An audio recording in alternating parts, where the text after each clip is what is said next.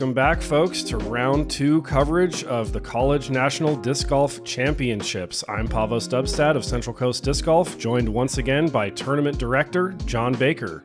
John, why don't you tell me a little bit about the format for this event and the coverage we're going to be looking at today versus our team's event from yesterday?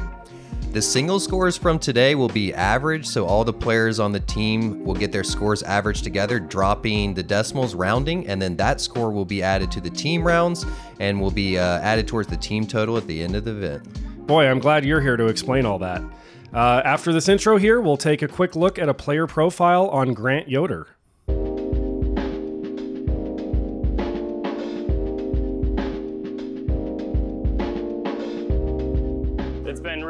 Fun seeing all the courses for the first time and being on the Emporia State team with Coach Emac.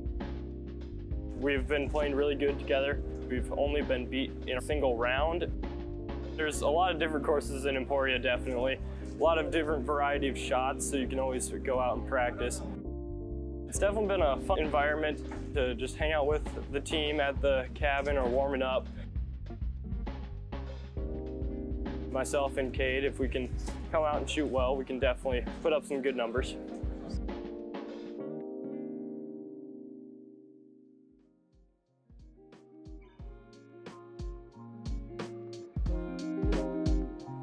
And back to the coverage. Here we are on the Boulders course once again, the same course we saw teams play on yesterday. Starting off on hole one, a 333 foot downhill par three hazard bunker, short right of the pin, and OB Creek very close behind it. Yeah, this hole can uh, has some couple hazards on it, so I wonder if the players will be playing a little safer than they did yesterday in the team play. time, our feature card of the men's Division One singles from Emporia State University, Grant Yoder.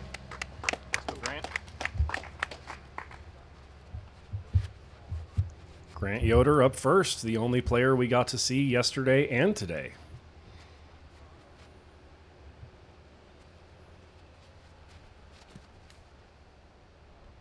Clipped a little twig in front of him there. That might have taken off a little bit of speed. Yeah, I would guess that that would have been a lot better without clipping that tiny little Next thing. Next on the tee, from Houghton, Zach Sisson.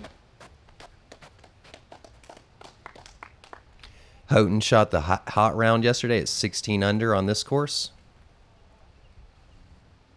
That is very impressive. Yeah, including the eagle on 17. Wow. So you're talking in singles play, or no? That was that would be in the doubles event or the teams event, obviously. Yep, that was yeah. team play. Always fun to have a lefty on the card. You get to see lines that you don't otherwise get to see typically. Next on the tee. I'll try to keep the southpaw southpaw bias, bias out of this, but uh, Pavvo, I'm a lefty as well myself. Oh, cool. Up next, Evan Bestor.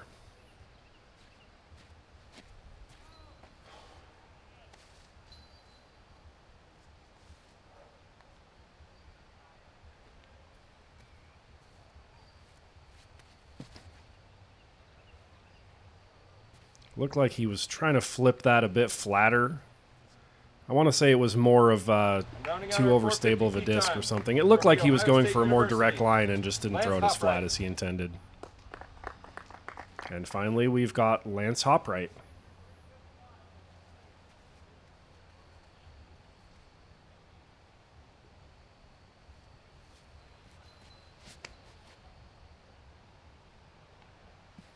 Lance going for the much wider hyzer.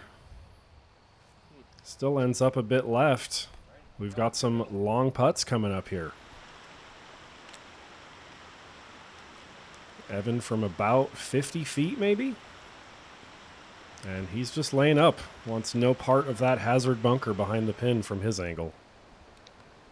Yeah, you'll probably see these players playing relatively conservative. Um, the singles play doesn't, it isn't very important for the players, obviously, but being that the scores count towards the team score, it's very important that they perform well in order to keep their team in the in the competition.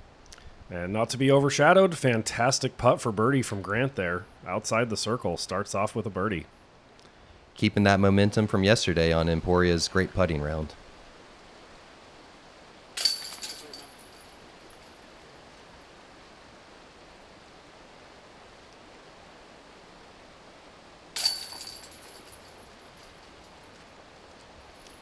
Got to give a shout out to those great looking jerseys for Ohio State that Lance is wearing. Those are looking pretty fresh, Pavvo. What do you think? Looking good. And here we get one more look at that great putt from Grant. He was putting right at the OB Creek, too. No fear. Actually, barely squeaked over the rim. It looked a little cleaner than that from the other perspective. Great putt either way. And on to hole two, a 546 foot par four. As you can see, there's an OB Creek all the way down the right hand side. This might be a little more challenging for our left handed player than the other three, as this tee shot definitely favors a right hand backhand shape. And once again, pin tucked very close to that same OB Creek.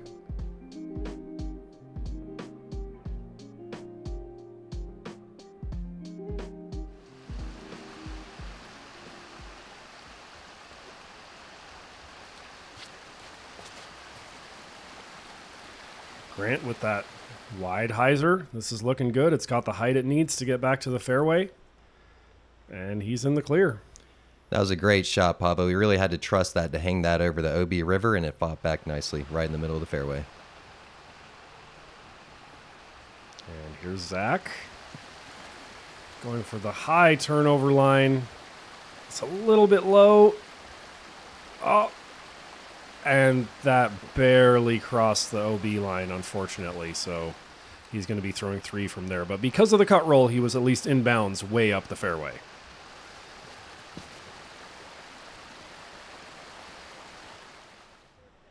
Another high righty backhand hyzer. This one more to the left, but still good.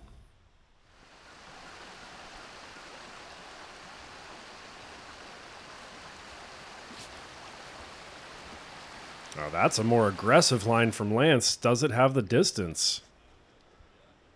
And it does. That's an impressive drive. Yeah, Lance really attacked that one. For the lefty there, we saw um, that must be pretty challenging for him to approach that one because you want to make sure you turn it over enough so it doesn't hyzer out at the end, but we saw a little bit of a burn there. Yeah.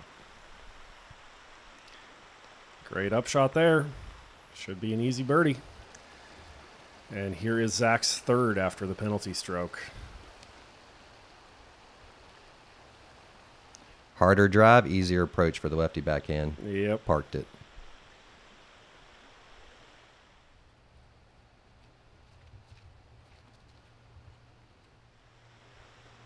Grant with a nice controlled forehand chip shot into the green, and he's going to be inside 10 feet. Yeah, we saw that butter forehand a lot from Grant yesterday. I think we're going to keep seeing more of that today. Grant really has a well rounded game. Good forehands, backhands, solid putter, as anyone from Emporia has to be, I guess, with that wind. And Lance for a birdie. There it is. Love seeing all the sponsors there on the back of his jersey, really supporting the team. That's awesome for Ohio State.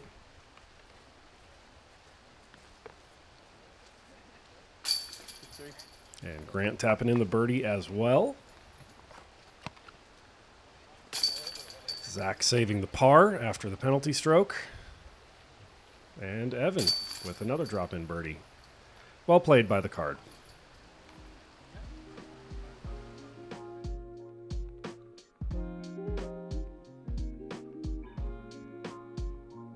Take one more look at Zach's form as he takes the very aggressive line, hanging it out over the OB for probably 90% of the flight.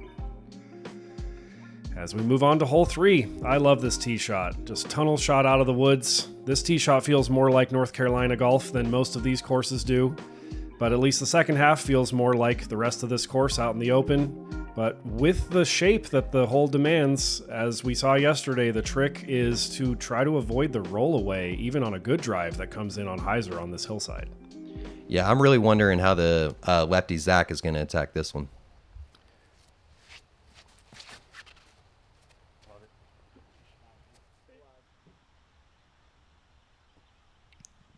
Great shot from Grant. Look at that.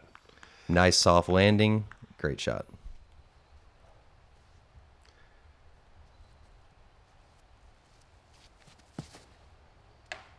Oh, that's a grip lock. And that actually kicked far enough right that he might be able to straddle out and make something happen from the fairway there.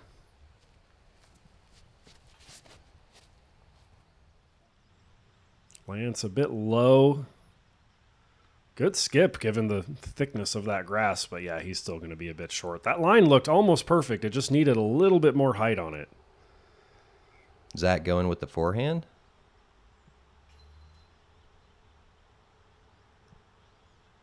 This is looking good. Getting the full flex out of it. Nice skip. Now don't roll. And he's good. That's always the gamble at the end of a flight like that. Yeah, and here we see Evan. Tricky lie. Couldn't really put his body into it or get a run up at all. So he's going to be trying to save bogey now. At least he still has a smile on his face. It's hard not to out here, Pavvo, when you look around and see these beautiful mountains and hills surrounding the course. True that.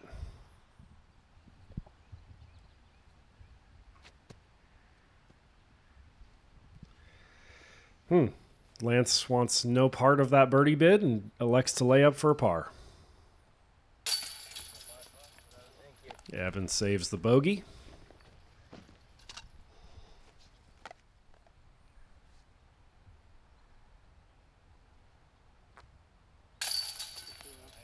Great birdie from Zach. Love seeing that lefty forehand off the tee. Yeah, this is not the easiest lefty hole. Great shot. Great shot from Zach. And Grant Yoder, he goes three for three to start. Man, he's really taken on that, uh, following that lead from Emporia State's team round yesterday. I believe they went eight for eight yesterday. They did. start. That's true. Yeah, they almost went perfect on the front nine, just missed hole nine.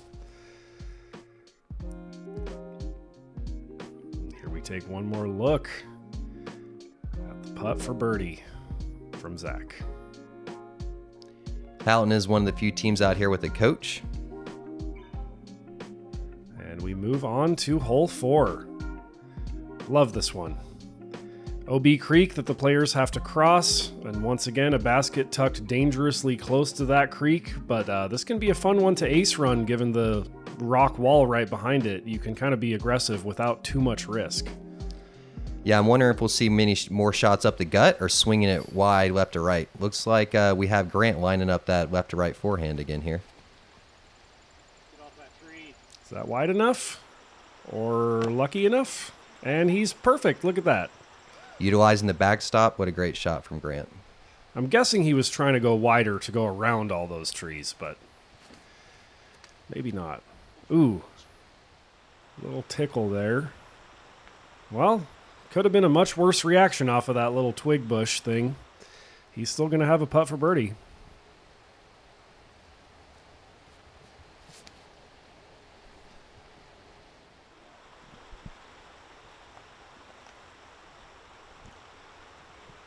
Great shot from Lance there as well.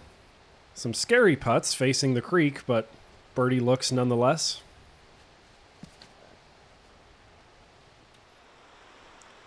Evan going for the direct line. Oh,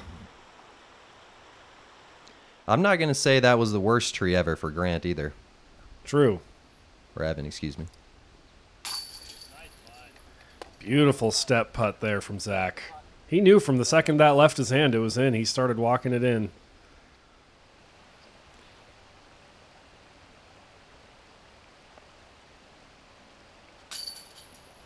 Just a little bit left side for Evan. He's got an interesting grip on his putt, the way he uh, kind of curls his thumb and, and presses down on the top of the flight plate with it.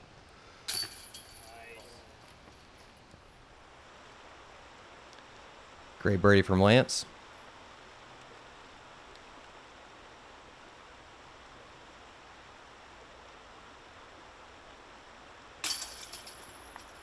Great birdie from Grant as well. And that's four for four for him.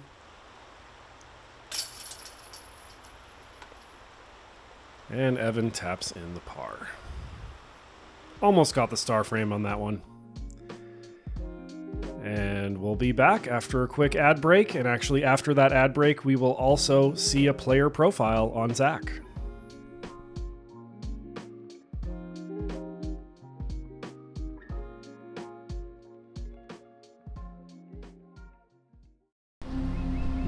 Here we are at the International Disc Golf Center.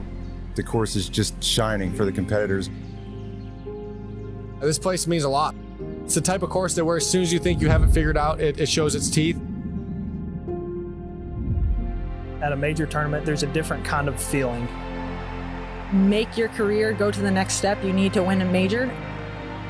We show where we came from and hopefully show where we're going with events like this this weekend.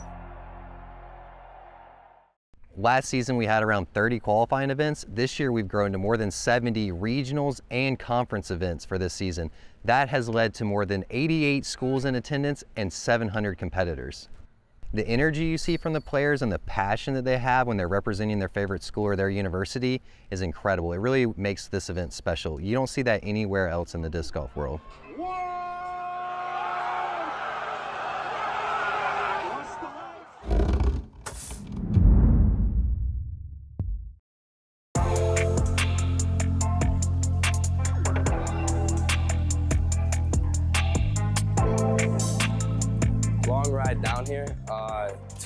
we left at 6 a.m. Monday morning, got here at 9 p.m. and got a big Airbnb and the courses are just beautiful. It's, it's really crazy like to have three courses that are just like so beautiful on one property and so close to one another. It's just, it's great. We saw the tee times the first time out was 7.30 and that was us and we were like, oh, but we kind of got ahead of the wind, so that was a good thing. And to come out on top, it's kind of like, yeah, I, I think we're, we're here to stay. I was the newest addition to the team, which it was pretty cool to join and have this much like success early on. It's just have fun out here. It's taking the experience. Uh, our coach told us just like look around, look at like where we are and just enjoy it.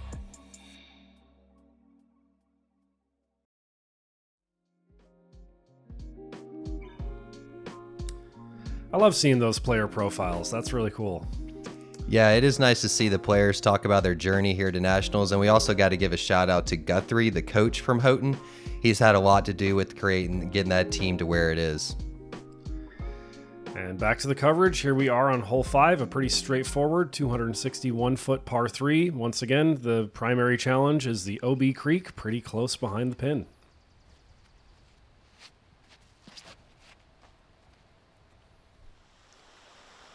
Grant puts a nice hyzer out there. And it's going to put him about 25 feet or so.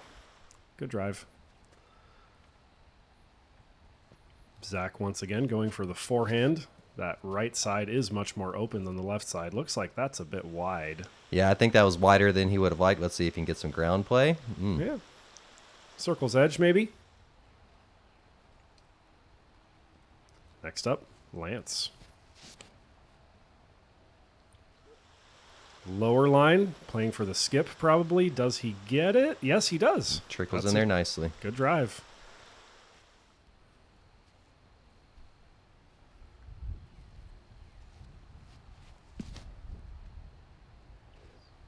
And Evan, I wanted to say that was a bit wide too, but that is a very overstable disc, and that is perfect. Looks like he was playing that line on purpose.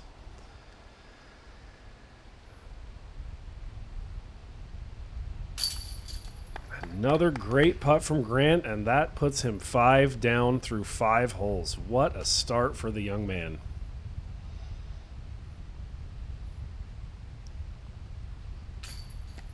Oh no, Zach.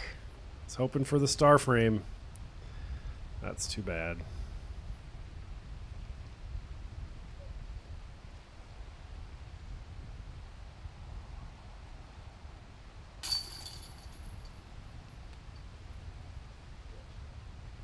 Gets the birdie.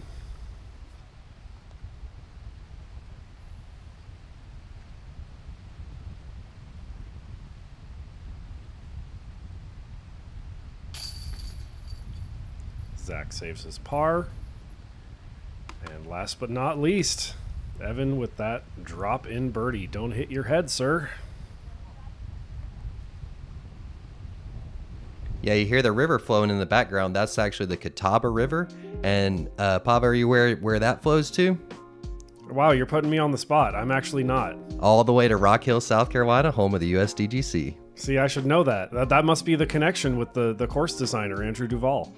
He just designs courses that are anywhere along the Catawba River. Yeah, I heard after he puts in a long day, he just floats all the way back home when he's done.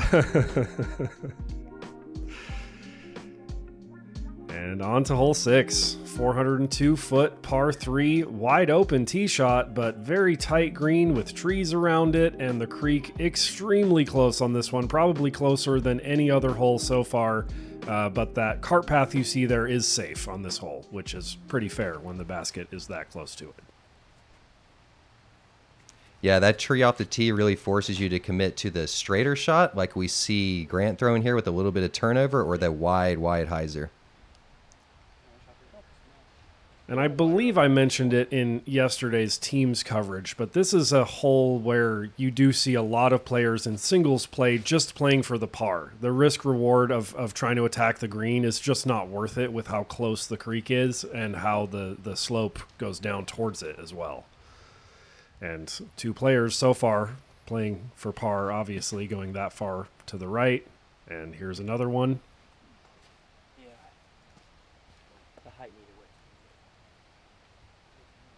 And let's see if we can get one player attacking it.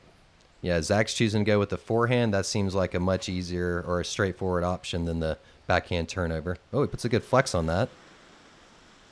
Good distance. But once again, electing to play for par on purpose. Can't blame them.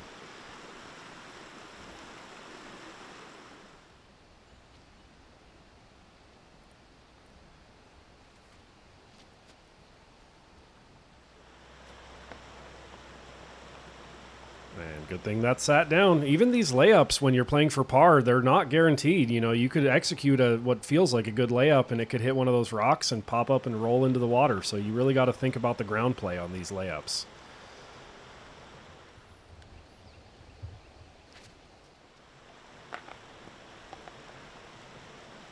Perfect layup from Grant.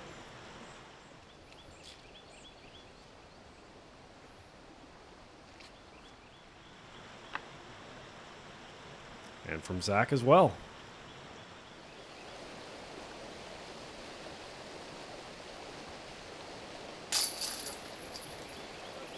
Something about that river flowing in the background, Pavvo, really creates a calming feel. You know, you love hearing that flowing and the chains banging in the background too. You gotta love that. Absolutely, the river that plays so close to so many of the baskets, not only on this course but other courses on the property as well, uh, is really one of the defining characteristics of North Cove, and I do love it. Yeah, they've really incorporated a lot in the course design. On the next hole here, you'll see that they have to carry it in the middle of the fairway uh, to avoid that OB river. And I got a note too. My apologies to Evan since I'm going to talk about a different player during his slow mo. But uh, Grant's birdie run was only ended by him playing for par on purpose. So he still hasn't made a mistake. That's a great observation there, Pavvo as we move on to hole seven, a 627 foot par four. I said it yesterday and I'll say it again. This is the signature green, at least on this course, if not on the entire property. I love this rock formation up by this basket here. Uh, also of note, the drone flew over a bridge there. The river there is out of bounds, as is the bridge itself. Uh, if the players land in out of bounds, there is a drop zone just short of the bridge. So there are two ways to attack this hole. You can either get aggressive off of the tee shot, or you can lay up on the tee shot and then get aggressive on your second shot. No, don't flip. You're lucky.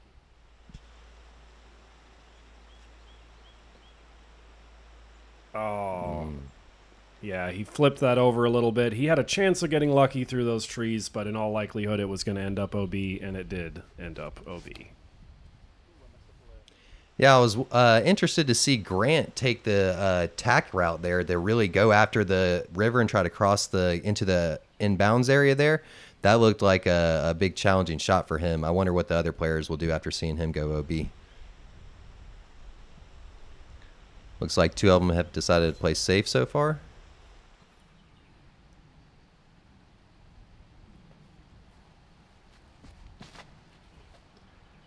Zach is not playing safe. He is trying to get across, but he turned it over too much as well and did not clear that OB creek. So looks like we're going to have two players going from the drop zone and two players who elected to lay up who have to go very aggressive on their second shots if they want any chance at a birdie.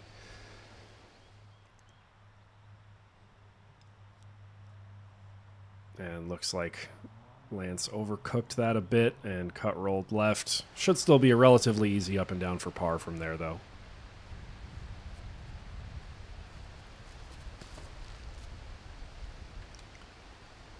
This is looking good from Evan. Lots of power, full flight. And he's still probably about 60 feet or so, but it's tough to reach the screen if you elect to play the layup off the tee. It's doable, but you got to have quite an arm. Yeah, it's a crush there, Pavvo. But luckily that ooh, little slip there from Grant. But luckily the backstop there, the rocks really give you a chance to get aggressive um, on this hole. That's true. Great shot from Grant there from the drop zone, despite slipping. I mean, that was a pretty significant slip.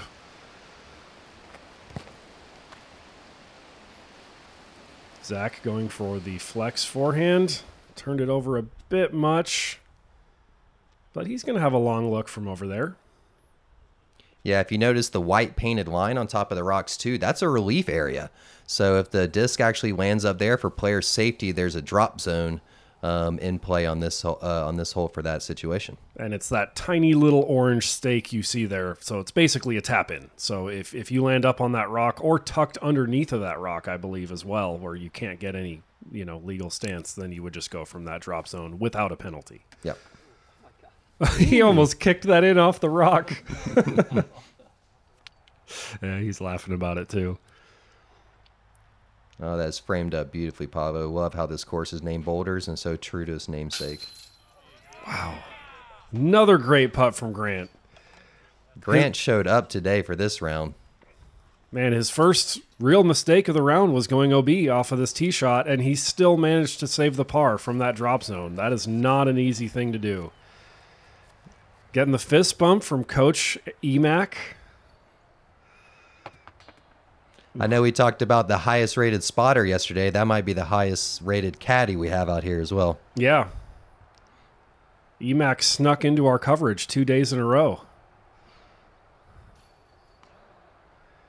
And this is a bit of a tricky lie for Lance. If he had stopped just five or ten feet sooner, he would have had a straight putt at it, but he has to try this awkward Annie putt given the angle of the boulders from where he's at. And he doesn't quite get enough anhyzer on it.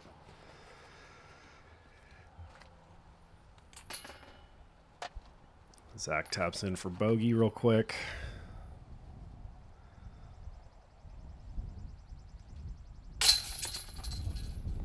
And Lance getting the bogey as well.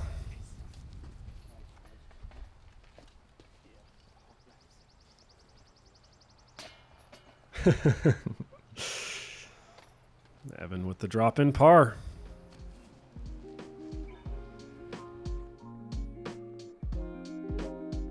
One more look at this beautiful putt from Grant. This kid is getting his share of slow mo, that's for sure. And he's earned it, Pavvo. These are some great putts he's hit today already in this round. Absolutely. So much confidence. As we move on to hole eight, and I'll mention it again in case some of our viewers didn't see yesterday's coverage. There are two Mandos here. This hole is now a double Mando.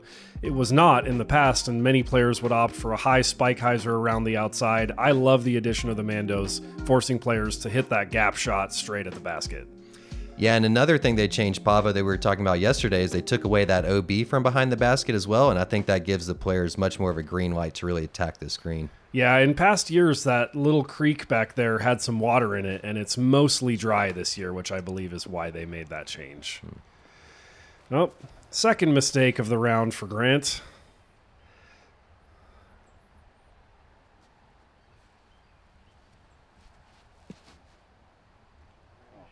Ooh, beautiful line from Evan. Flips it up to flat. And there is a little bit of water over there, but it is all casual. Oh, it's casual this time. That's good to know. He absolutely pured that gap. I was uh, disappointed to see that unfortunate play off this uh, log there.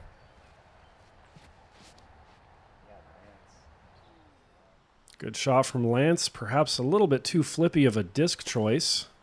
And he finds some of that casual water as well. Lance's form actually really reminds me of Emerson Keith for his drives and his putts. Just something I noticed during the round. Not a bad player to emulate. No, not at all. And Lance is uh, not only is a great player, but he's also a, great leader for Ohio State. He's one of their team captains. Um, I can tell because we've been emailing a bit back and forth, but Lance is very active on uh, organizing his team and getting them here to the national championship. Always good to see that. And a great upshot there from Grant. Looks like he'll have a pretty short putt to try to save his par. And here we see some of the uh, challenging terrain that Lance has to deal with.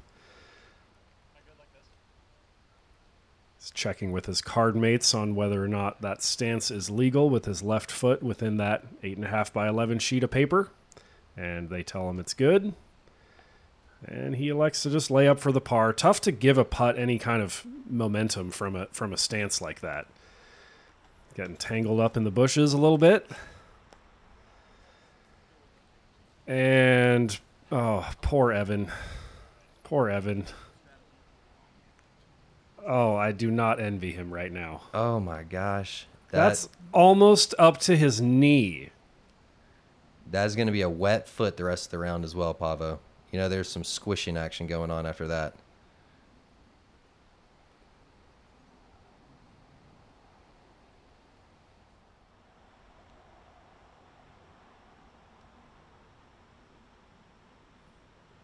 Come on. Oh, sit down. Sit down for him. Okay. Man, I really wanted to see him get the birdie from from that putt. That was close. That was close. Hopefully, he's got a caddy that can maybe sacrifice a shoe for him or something, because uh, that's going to be a challenge for the rest of his round dealing with that. That's a, a, bonus caddy. If you can get a caddy with the same shoe size as, as you, they just offer you their shoes if you get a wet shoe during your round. Unfortunately, I don't think that was the case for Evan. So, like you said, he will be dealing with a wet and soggy foot for the rest of the round. Gotta love the commitment, though, Pavvo. I do, yeah. I believe with it being casual, he had the option of taking relief straight behind it, but that would have made his putt a good 20 feet farther away and kind of a tricky area as well. So he opted to just go for it and put his leg in the water.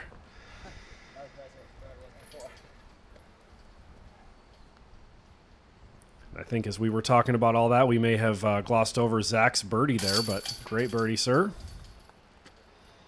And uh, the other three card mates taking par.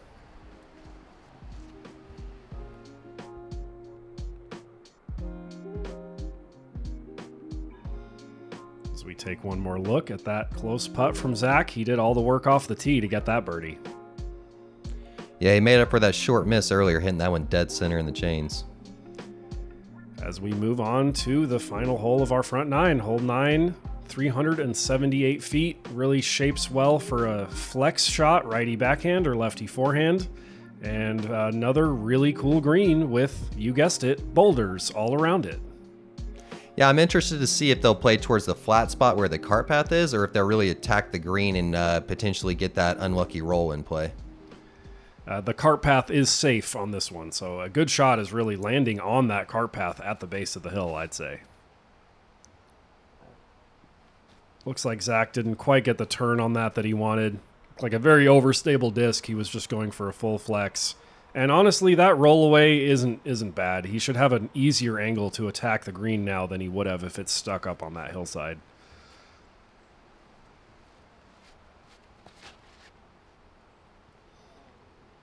That's pretty high out of Grant. Does it have enough speed to get there? Yeah, I think he just got that a little higher than he intended, and it stalled out and faded left. Most likely a layup for par from over there. I love how smooth Grant's throws are today, too. They're looking really good.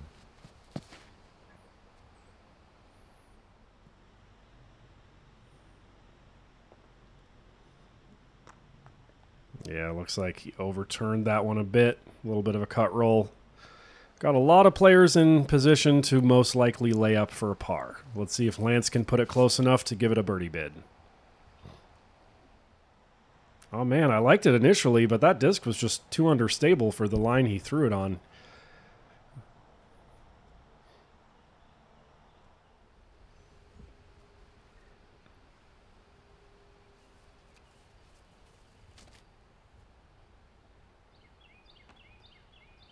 Yep. Layup for par.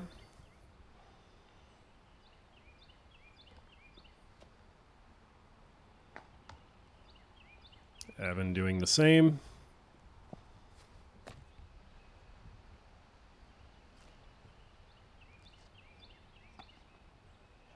Zach doing the same as well.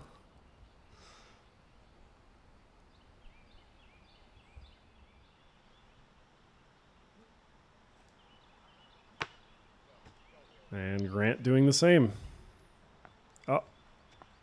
Oh no. Yeah, well, that's the danger of this green. Wow, that kept rolling as long as it could have. It completely ran out of speed. Yeah, that was unfortunate for Grant. Let's see what he can do with this long comebacker.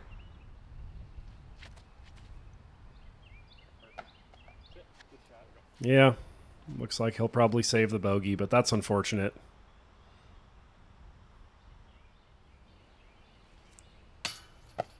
Oh no. Evan's layup there actually ended up a little farther away from the basket than I than I thought initially.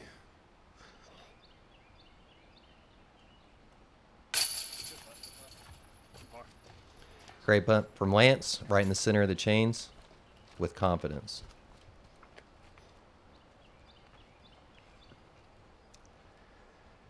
And Grant looking to save the bogey. He's pretty close, but it's kind of a scary putt with the drop off right behind it from his angle.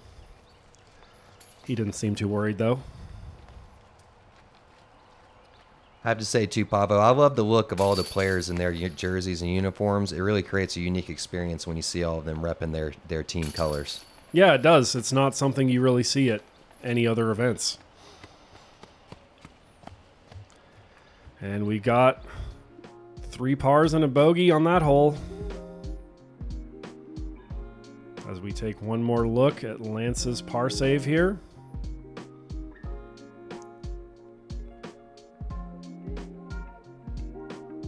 And that's going to wrap up our front nine. Leading our group, we have Grant Yoder at four down after that hot start, five down through five. The other players hanging in there at three down, even, and two down. Thanks again for joining us, and we'll see you again on the back nine.